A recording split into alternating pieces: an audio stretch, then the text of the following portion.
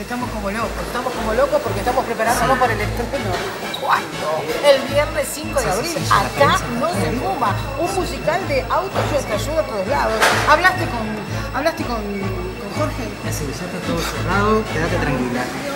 La semana que viene te van a hacer una nota. Mirá que del Vaticano también nos llamaron, ¿eh?